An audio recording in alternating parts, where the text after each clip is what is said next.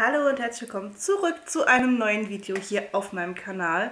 Ich sag's im Vorfeld, es tut mir leid, wenn ich mich zwischendurch ständig räuspern muss, aber ich bin ein wenig erkältet.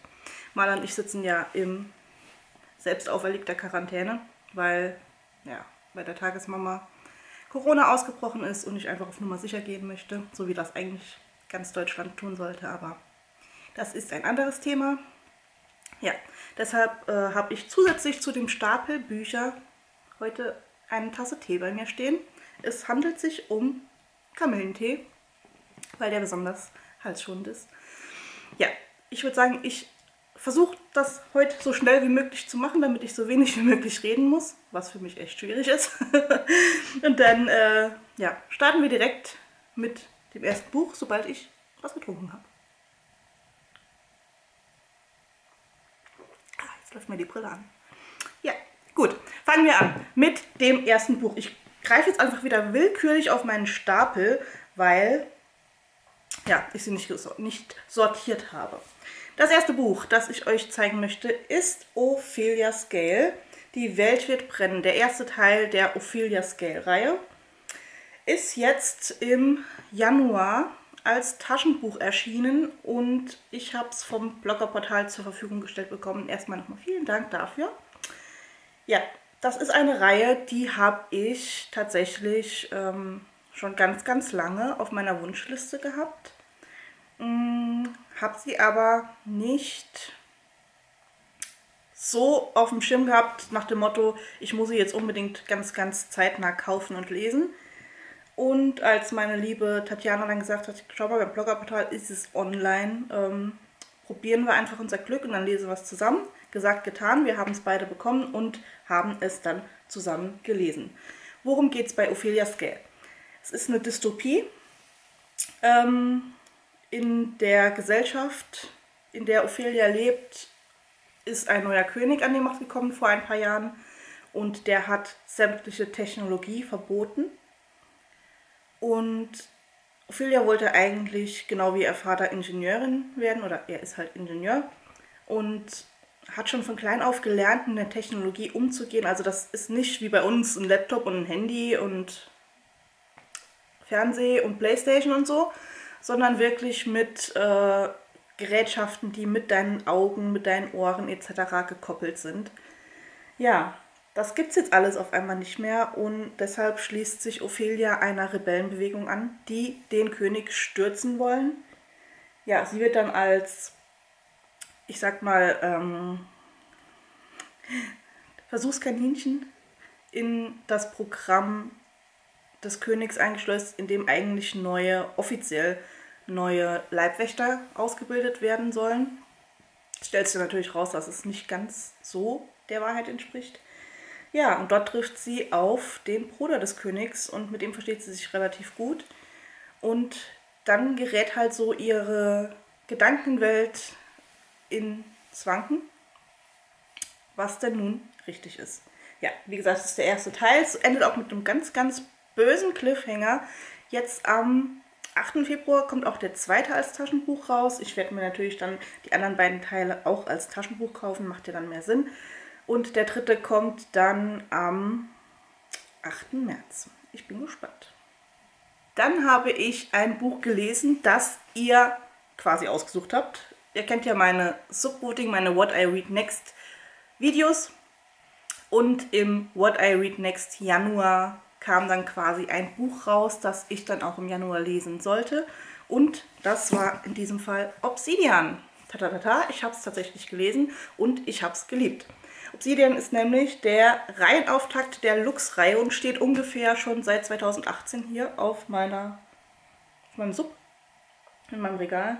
Ähm, ja, und weil es so schön war und ich gerade so in der Materie drin war und das Buch auch gerade zur Hand hatte, habe ich dann auch noch Band 2 gelesen. Ja, also Obsidian Schattendunkel ist der erste Teil und Onyx Schattenschimmer ist der zweite Teil. Sehen auch super schön zusammen im Regal aus. Ich muss mir jetzt endlich nochmal Band 2, nein, Band 3 bis 5 kaufen. Ich glaube, es gibt 5 davon. Und dann gibt es irgendwie nochmal einen anderen Ableger davon. Ich kann es dir nicht mehr sagen, wie es genau ist. Oder ist euch.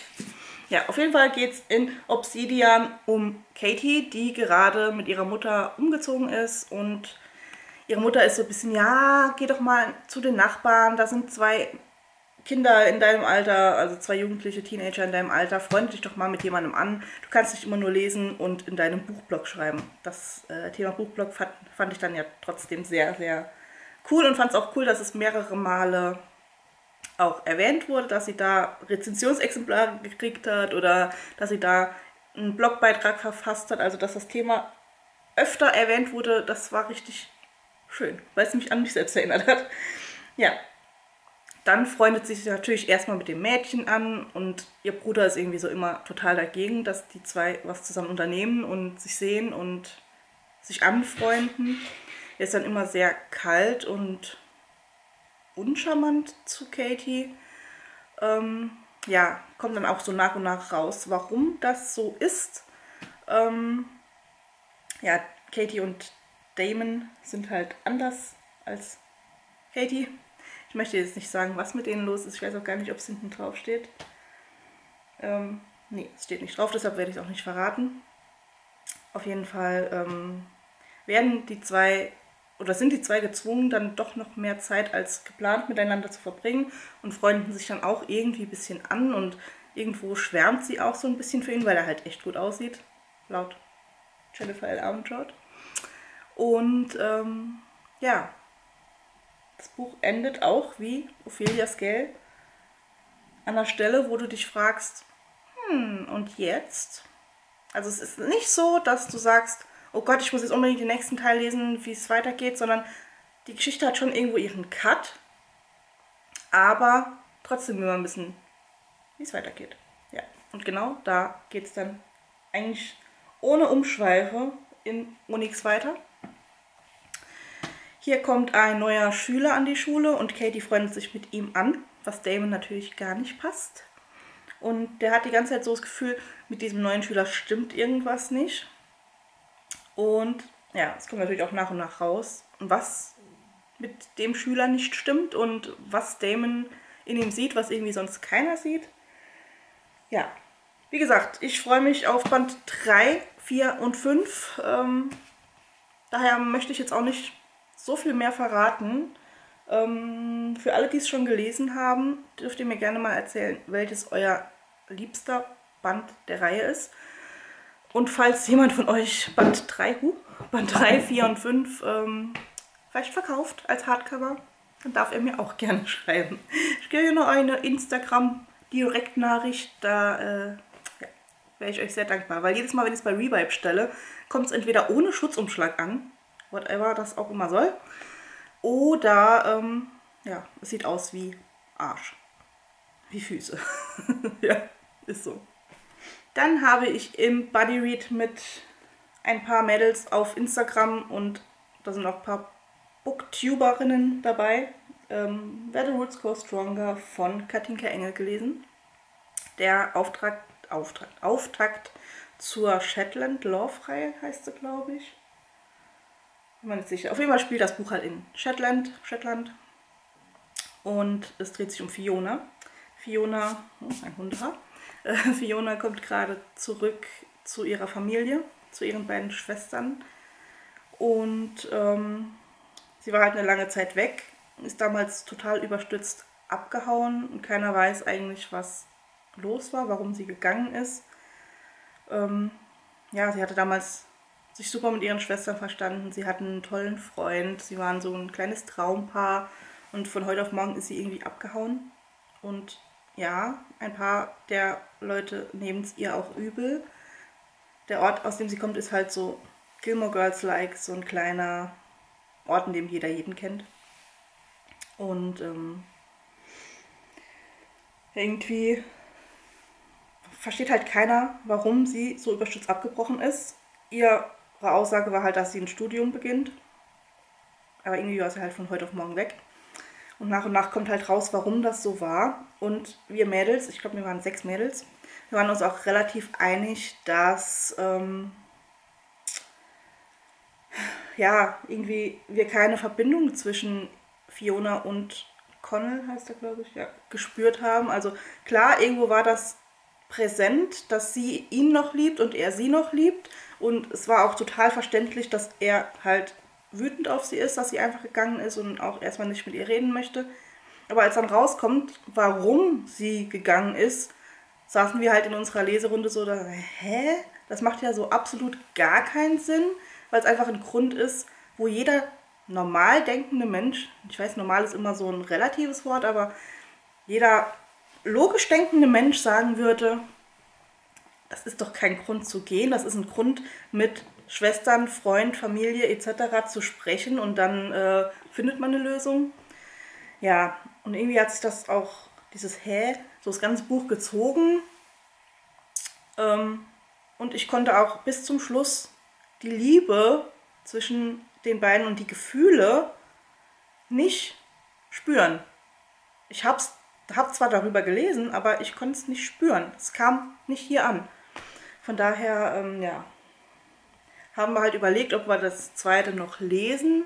Ich weiß jetzt gar nicht, ob wir es noch lesen oder nicht. Eigentlich wäre es ganz cool, weil der zweite Band geht halt um die Schwester von ihr, um die Nessa. Und die ist, ja, eigentlich mein Favorite-Charakter gewesen. Und der Witz daran ist, ähm, ich glaube irgendwie, dass die drei Schwestern hier aus der Reihe an die Schwestern von ähm, Akota angelehnt sind, weil die hier heißen halt Fiona, Nessa und Effie. Und die Archer-Schwestern heißen halt Farah, Nesta und Elaine. Also die, Anfangs uh, die Anfangsbuchstaben sind gleich. Und ja, irgendwie, Nessa ist halt auch die älteste Schwester, Elaine ist halt so, so süß und lieb. Ja, irgendwie hat das irgendwie mich daran erinnert. Irgendwie hat das mich irgendwie erinnert. Ja, ihr wisst, was ich meine. Im Januar habe ich mich auch nochmal an einen Reread gewagt. Also es ist äh, der erste Band einer ganz, ganz langen Reihe. Ich weiß nicht, ob es jemand von euch kennt, weil die Reihe doch nicht ganz so bekannt ist. Das Schwert der Wahrheit, das erste Gesetz der Magie von Terry Goodkind. Ja, es ist ein ziemlicher Klopper, aber meiner Meinung nach lohnt es sich auf jeden Fall, diese Reihe zu lesen. Ich habe die Bücher schon mal in der alten Version, also im, im alten Gewand quasi, im Regal stehen, aber nur 1, 2, 3, 4, 5, 6, 7 und ich glaube es gibt 11. Ich habe dann irgendwann aufgehört, sie zu lesen, weil ja, die Schrift ist halt super klein und es ist, sind sowieso trotz der kleinen Schrift dann noch, ich glaube, 1100 Seiten von Band 1 und manche davon sind noch dicker. Und nach sieben solchen Wälzern hatte man dann irgendwann so, ne? Und habe dann irgendwie was anderes gelesen und nie wieder weitergemacht. I don't know warum. Ja, was ist das erste Gesetz der Magie oder was ist die Schwert der Wahrheit-Reihe? Es geht um Richard und Kalen und deren Geschichte, beziehungsweise eigentlich geht es erstmal um die Geschichte von Richard. Er ist halt ein, ja, ich nenne es jetzt mal wie bei Herr der Ringe, ein Waldläufer. Er ähm, lebt halt in einer kleinen Hütte und ähm, sein Vater ist dann gestorben und er kümmert sich halt so ein bisschen um das Drumherum im Wald und um die Tiere und er baut Brücken und so Gedöns halt. Und eines Tages ist er halt im Wald unterwegs auf der Suche nach einer Schlingpflanze und sieht dort, dass eine Frau von vier Männern verfolgt wird und rettet sie dann quasi. Und nach und nach stellt sich dann halt heraus, dass diese Frau nicht aus ihrem Land ist, sondern von einem Land hinter der Grenze. Es gibt so eine magische Grenze, die eigentlich keiner durchbrechen kann. Ja, und was die Frau, also Kalen, ihm dann halt erzählt, ist halt total merkwürdig und macht ihm auch Angst. Und dann holen sie noch Zed ins Boot. Zed ist Soul Surrender, ein Zauberer, was er aber nicht weiß. Er hält ihn einfach nur für einen alten, verrückten Mann. Ja, und zusammen machen sich die drei halt auf den Weg zur Grenze, um dort durchzukommen, eigentlich. Es ist super schwer zu erklären, weil es so eine komplexe Geschichte ist. Und ich kenne halt schon die Story und weiß halt, wie es weitergeht. Und ähm, es fällt mir jetzt gerade super schwer, darüber zu sprechen, ohne was vom weiteren Verlauf zu erzählen. Ähm, ja, Kalen ist auch kein normaler Mensch. Sie ist eine Konfessorin die letzte ihrer Art, also quasi dann Mutterkonfessor. Und das was sie kann, kriegst du halt in dem Band noch nicht erklärt. Aber ich weiß halt, was ihre Kräfte sind und warum sie sich so verhält, wie sie sich verhält. Das ist aber eine mega, mega spannende Serie. Wer jetzt keine Lust hat, 1100 Seiten pro Buch zu lesen, der kann sich auch ähm, mal die DVDs zu Legend of the Seeker kaufen. Ich kann es euch gerne auch nochmal unten verlinken. Ähm, da gibt es, glaube ich, zwei Staffeln. Und da sind halt ein paar der Bücher, gerade die Anfangsbände, gut zusammengefasst und auch sehr unterhaltsam. Ähm, der Bösewicht aus Band 1 und 2 ähm, und Band 3. Also Band 1 und 2 auf jeden Fall ist Dark Roll und der wird halt gespielt von Craig Parker, der auch bei Herr der Ringe den Haldir spielt und der bei Spartacus auch den Clavus Clover oder wie er heißt spielt. Ja, auf jeden Fall ein super, super toller Schauspieler, den wir auf der Ringcon und Magicon immer dabei haben und einfach ein ganz toller Mensch. ja, lest das Buch ähm, und danke mir später. Als nächstes möchte ich euch eine komplette Reihe vorstellen. Es ist die Dialogie von ähm, Like Snow We Fall und Like Fire We Burn von Isla Date. Das erste hatte ich sowieso schon im Regal stehen und es hat nur darauf gewartet, dass ich es lese. Und das zweite habe ich dann auch vom Bloggerportal zur Verfügung gestellt bekommen. Vielen Dank auch an dieser Stelle dafür. Ja, da ich Rezensionsexemplare nicht so lang bei mir liegen haben möchte, habe ich dann beschlossen, das direkt beides zu lesen. Gestartet bin ich natürlich mit Like Snow Before. In Like Snow Before geht es um Paisley. Sie ist Eiskunstläuferin, kommt aus einer relativ schlechten Gegend und ähm, ja, ist auch sehr, sehr ja, in armen Verhältnissen aufgewachsen. Sie nennt sich immer äh, Wohnwagenschabe. Das fand ich ganz furchtbar, das zu lesen. Und ähm, ja, sie flüchtet halt nach Espen. Warum, weiß man anfangs halt noch nicht. Das erfährt man im Laufe der Geschichte. Und hat sich dort an der Icegate eingeschrieben. Das ist so eine Art, ich sag mal, Uni. Also die bilden halt Eiskunstläufer etc. aus. Ja. Und kommt dann ähm, in einem Bed and Breakfast für den Moment unter. Ja, im Laufe der ersten Tage lernt sie dann halt auch Nox kennen. Er ist ein total arroganter Snowboarder. Und die beiden gehen sich halt regelmäßig an die Gurgel. Aber irgendwann macht es halt so Klick und die beiden freunden sich an. Sie kommen sich irgendwie immer näher. Ähm, ja, Nox war eigentlich früher kein Snowboarder, er hat einen anderen Wintersport gemacht. Aber als seine Mutter gestorben ist beim Schlittschuhlaufen, weil sie halt auch Eiskunstläuferin war, ähm, hat er allem, was Kufen hat, abgeschworen und seinem Vater zuliebe ist er dann Snowboarder geworden.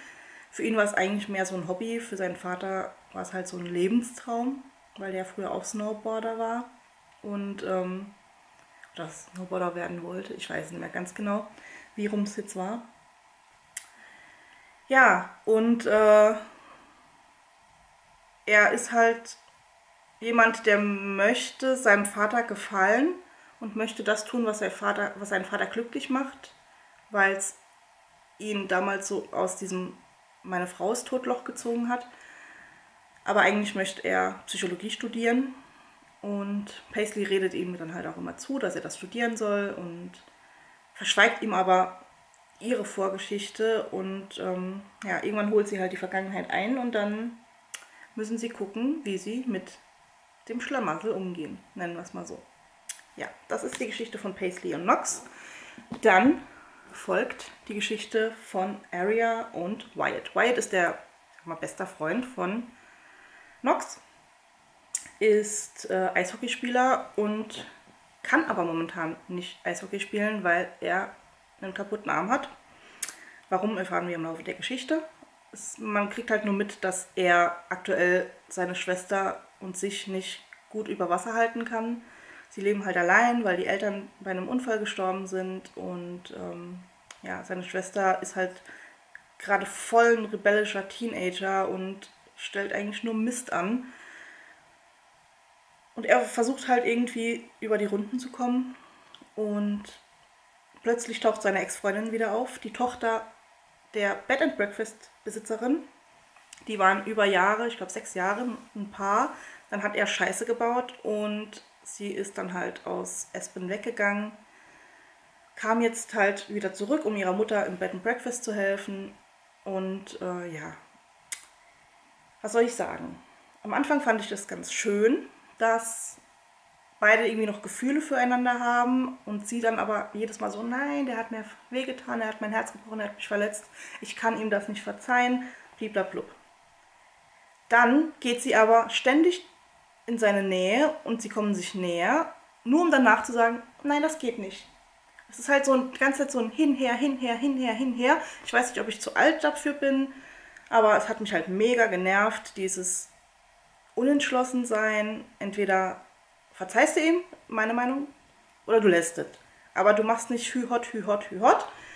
Ja, und irgendwann war ich halt maximal genervt von ihrem Verhalten. Wyatt fand ich eigentlich die ganze Zeit ganz cool, weil er halt wirklich versucht hat, sie zurückzuerobern mit wirklich super lustigen und teilweise auch dämlichen Aktionen. Ähm, und was ich auch noch witzig fand, dass es in dem Buch einen Paxton gab. Ich habe noch nie in einem Buch was von einem Paxton gelesen, weil das ja auch der Charakter, der männliche, aus meinem ersten Buch quasi ist. Ja, nur dass Paxton hier ein Arschloch ist. True Story. Ja, wie das Ganze ausgeht, müsst ihr dann natürlich selbst lesen. Ich äh, habe gerade gestern eine Rezension zu bei Instagram hochgeladen, also wen es interessiert, der darf auch gerne nochmal dort vorbeischauen. Wenn ich euch jetzt die nächsten beiden Bücher zeige, werden einige von euch jubeln, damit meine ich Lu, dass ich die Reihe endlich angefangen habe. Ich spreche nämlich von Throne of Glass. Die erwählte ist Band 1 und Kriegerin im Schatten ist Band 2. Habe ich beide im Januar gelesen. Ich lege das eine mal weg. Ähm, ja, viele von euch haben die Story schon gelesen. Die ist ja auch schon etliche Jahre alt. Ich weiß gar nicht, wann die rausgekommen sind. Ähm, ähm, ähm, ähm. Ich gucke jetzt gerade rein. Auf jeden Fall vor Akota. Was steht hier? Neunte Auflage 2019 und 2012 sind sie das erste Mal erschienen. Also ja, schon zehn Jahre alt. Aber ich habe es jetzt erst geschafft, sie zu lesen. Ich finde, man kann immer nur so ein gigantisches Fantasy-Epos gleichzeitig lesen. Letztes Jahr habe ich viel von den Schattenjägern gelesen und dieses Jahr haben wir gesagt, so, wir fangen jetzt mit Throne of Glass an und machen dann weiter mit unserem Schattenjäger-Marathon. Ja, in dem ersten Band lernen wir Selena kennen. Selena ist eine Assassine und soll im Wettkampf zur quasi zum Champion des Königs werden und der Sohn des Königs, also der Prinz, hat sie quasi als seine Mitstreiterin oder seine äh, Schachfigur ausgewählt, seine, ich weiß gar nicht, ich komme jetzt nicht aufs Wort, ihr wisst, wie ich es meine. Ja, und ähm, soll sich dann halt gegen, ich weiß nicht mehr, wie viel es sind, 13, 20 andere Mitstreiter äh, zur Wehr setzen.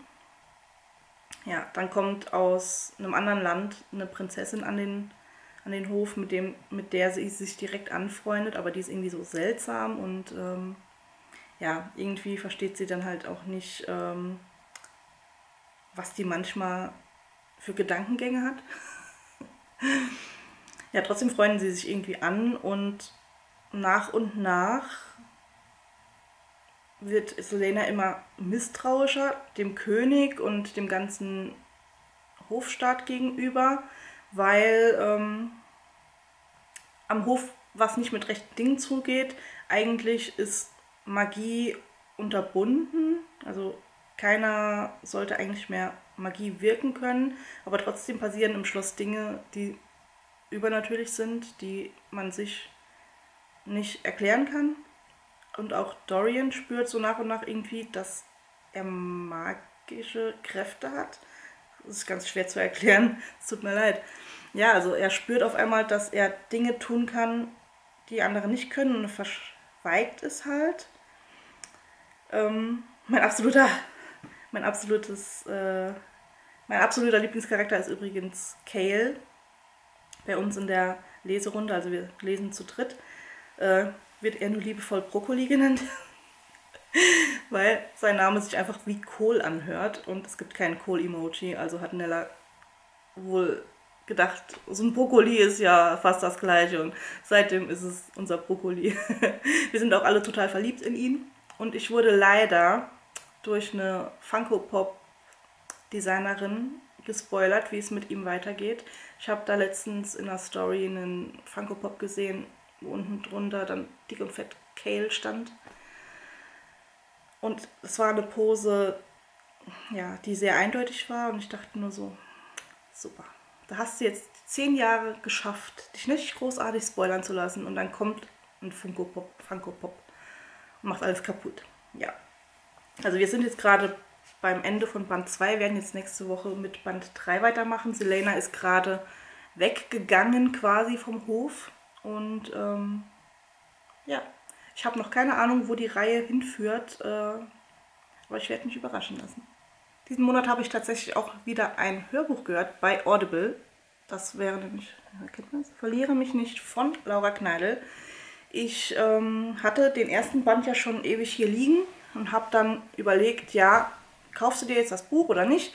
Wusste aber, dass Ivy ihn nicht so gut fand und gegebenenfalls aussortieren würde. Von daher habe ich dann gesagt, ja komm, ich kaufe ihn dir ab. Haben aber immer noch nicht hier, weil wir uns seitdem nicht mehr gesehen haben.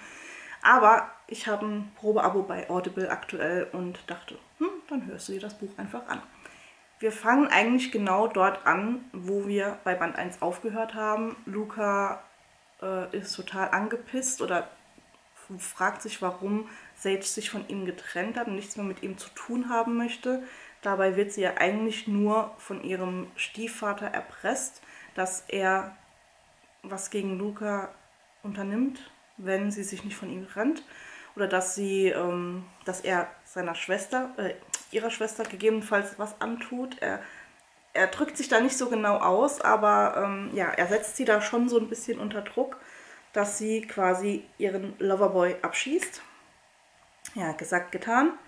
Und Luca versucht eigentlich so das Buch über wieder an sie ranzukommen und er hofft sich eine Erklärung, was denn mit ihr los war. Also er merkt, dass da was nicht stimmt.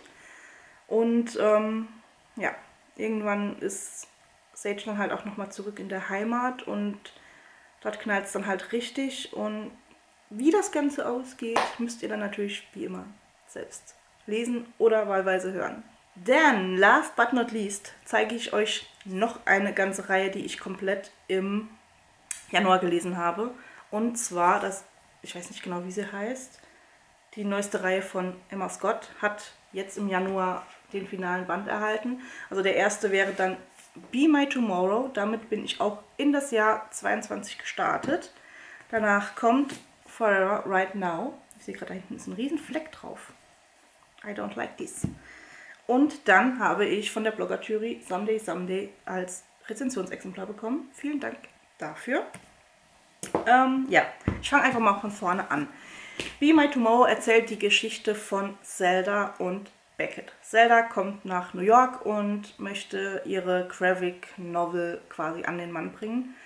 Kriegt dann aber gesagt, dass sie kein, also die Geschichte kein Herz hätte und überlegt sich fieberhaft, wie kann ich der Geschichte ein Herz verpassen. Ja, in New York kommt sie über Umwege bei Beckett unter und ähm, er hilft ihr dann irgendwann an der Geschichte zu arbeiten, hat natürlich seine eigenen Problemchen, wie das halt nun mal so ist. Und am Ende schreiben sie das Ding einfach gemeinsam und verlieben sich ineinander. Das ist grob zusammengefasst, was, um was es in dem Buch geht. Aber wie ihr bei Emma Scott natürlich wisst, gibt es noch so viel mehr drumherum, dass sich zu lesen lohnt. Ich fand es tatsächlich aber den schwächsten Teil der Reihe. Also wenn ihr es liest und es gut findet, dann lest auf jeden Fall noch die anderen beiden Bände, weil ähm, ja, es wird besser. Also es wird noch besser. Ja. Dann kommen wir zu meinem Highlight. Also absolutes Jahreshighlight jetzt schon, weil Ja, werde ich euch gleich erzählen, weil ich erzähle euch erstmal, um was es geht und dann begründe ich euch, warum es für mich ein Jahreshighlight ist. Ja, in der Geschichte geht es um Darlene. Das ist die ja, beste Freundin von Beckett aus Band 1. Sie ähm, ja, hat eine schwere Vergangenheit. Sie war genau wie Beckett äh, im Gefängnis. Das habe ich eben vergessen zu erwähnen. Sie waren beide im Gefängnis und das verbindet sie irgendwie so ein bisschen. Und Darlene hat in ihrem Leben halt schon super viel schlechte Erfahrungen getroffen und sagt jetzt einfach, ich muss weg aus New York, ich muss was anderes sehen, ich muss irgendwo von Null anfangen, wo mich nicht jeder als Darlene, die äh, ehemalige Drogensüchtige und die Darlene, die im Knast war, sieht. Dann geht sie nach Seattle und trifft dort auf ihren neuen Nachbarn quasi. Er ist alleinerziehender Vater von einer 13 Monate alten äh, Tochter. Bei ihm war es so, dass die Mutter eines Tages mit einem drei Monate alten Kind vor der Tür stand und sagte, ach so, das ist deine, und sich dann einfach heimlich wegschleicht und ihn quasi mit dem Kind alleine lässt. Er hat halt jetzt die Hoffnung, wenn ein Jahr vergangen ist, kann er sich quasi als Vater eintragen lassen. Und ähm, er ist halt auch Jurastudent und möchte da wirklich was erreichen, möchte Staatsanwalt werden und ja, so eine Tochter ist da halt, oder so ein Kind auf einmal allein großzuziehen, ist halt eine große Verantwortung und eine große Anstrengung. Er hat Gott sei Dank Hilfe von der Mutter seines besten Freundes und von der Nachbarin, die halt auf die Kleine aufpassen, während er an der Uni ist oder während er ähm, beim Richter ist, bei dem er für eine Stelle anfragt oder auf eine Stelle bei ihm hinarbeitet. Darlene erzählt ihm natürlich nicht, dass sie im Gefängnis war, erzählt ihm natürlich nicht, dass sie früher Drogen genommen hat und jetzt dreimal die Woche zu den anonymen Alkoholikern quasi geht, dieses NA-Meeting das es da ja immer gibt. Ähm, ja, irgendwann kommt es natürlich raus und dann ist halt so die Frage, will man ihr seine Tochter anvertrauen? Eigentlich hat sich da schon was zwischen ihnen aufgebaut, aber er ist halt total enttäuscht, dass sie ihm das nicht erzählt hat. Und jetzt die Begründung, warum das für mich ein Jahreshighlight ist, weil ich einfach mit ich muss mal die Hand wechseln, weil ich einfach mit ähm, Sawyer, so heißt das, Sawyer Lawyer, ähm, so mitgefiebert habe, weil ich halt weiß, wie es ist, alleinerziehend zu sein und ähm, auch wenn man Hilfe hat, man ist halt trotzdem der einzige Mensch, der 24-7 für dieses Kind da ist. In guten Zeiten, in schlechten Zeiten. Und ähm, natürlich ist es angenehm, wenn man mal gesagt kriegt, ich hole sie mal für drei Stunden und du kannst mal lesen, du kannst mal irgendwas machen, worauf du jetzt gerade Bock hast. Oder auch einfach mal drei Stunden auf der Couch liegen und gammeln. Aber es ist halt einfach nicht das gleiche wie, äh, ja, wenn man halt zwei Elternteile hat, wo sich zwei konstant Tag und Nacht drum kümmern. Ist einfach so. Ja, später tauchen dann halt auch die Großeltern von dem Baby auf, die leiblichen Großeltern, quasi die Eltern von Molly. Und dann beginnt halt so ein Rechtsstreit und ich habe ich hab hier gesessen, ich habe Tränen geweint, weil ich einfach dachte, oh Gott, was wäre, wenn mir irgendjemand Maler wegnehmen wollte? Ich wäre am Boden, ich, ja, ich würde auch kämpfen wie ein Tiger, wie, ein, wie Mama Bär. Aber ja, Gott sei Dank ist es nicht so und äh, ja, deshalb war das definitiv, weil es mich so berührt hat, jetzt schon mein Jahreshighlight. Last but not least kommen wir zu Nein, falsches Buch.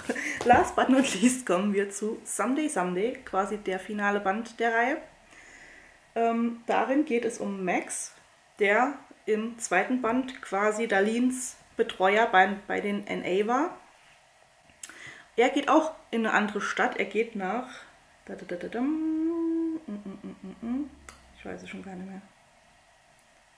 Er geht irgendwo anders hin. Ich weiß es nicht mehr. Es steht auch nicht hinten drauf ähm, und wird dort quasi Pflegekraft von Edward Marsh.